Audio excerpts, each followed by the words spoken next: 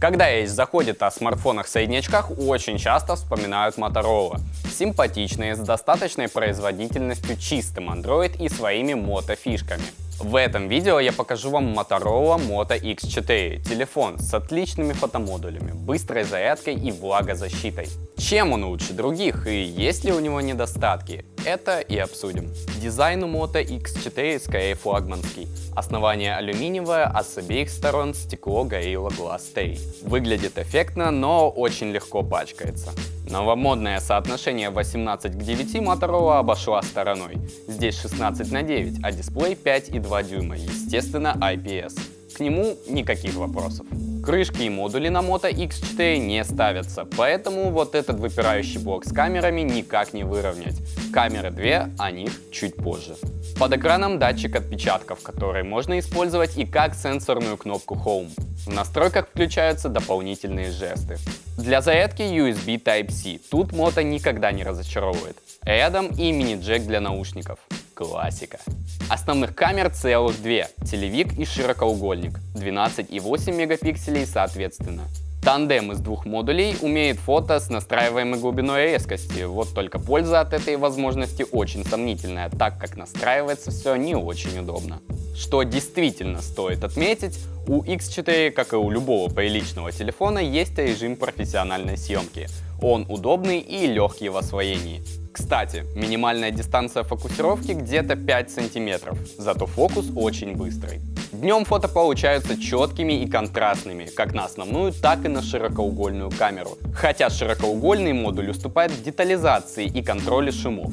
Вечером все не так идеально. Появляются шумы, но в целом изображение очень достойное. Посмотрите сами. Ну, по крайней мере, для телефона среднего класса.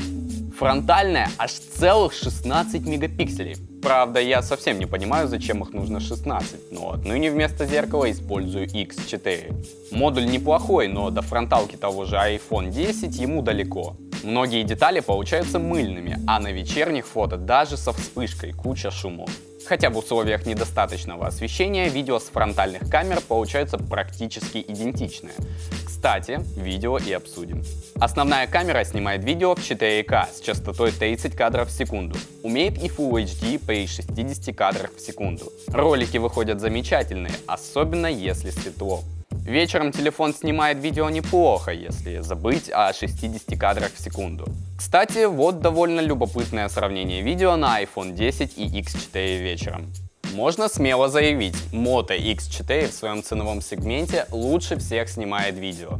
Цвета правдоподобные, все отлично, замечательно, чудненько, вот только стабилизации никакой нет, поэтому снимать на ходу невозможно. При съемке на широкоугольную камеру куда-то улетают детали, появляются шумы и желание убивать. На самом деле нет. Даже дополнительный модуль неплохой, если не снимать в 60 FPS или вечером. В общем, если вы хотите снимать видео с этим чудом, вам понадобится мобильный стабилизатор вроде DJI Osmo Mobile или какое-то моноколесо. Защита IP68 – лучшее, что можно придумать для любителей купаться со смартфоном. Ему не страшно падение в лужу, мытье под проточной водой и даже более серьезные штуки, типа подводной съемки. Внутри Moto X4 Snapdragon 630, 3 гигабайта оперативной памяти и 32 постоянной. Не богато, но вроде бы существует версия 4 на 64, но будет ли она на нашем рынке, непонятно. А пока точно скажу, что 32 гигабайта маловато придется ставить карту памяти.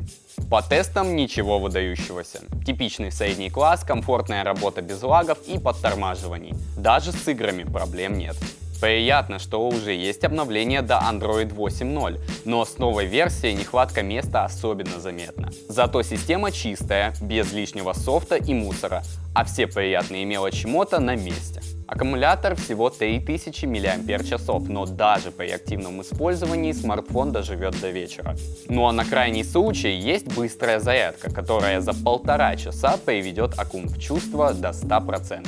Moto X4 точно стоит своих денег. Симпатичный, достаточно мощный для всего, заряжается за час, живет спокойно сутки, еще и делает отличные фото днем. Можете кидаться чем угодно, но мне он понравился. А что вы думаете об этом телефоне? Напишите в комментариях, я почитаю и поотвечаю. Подписывайтесь на канал, ставьте лайки и оставайтесь с нами. Пока!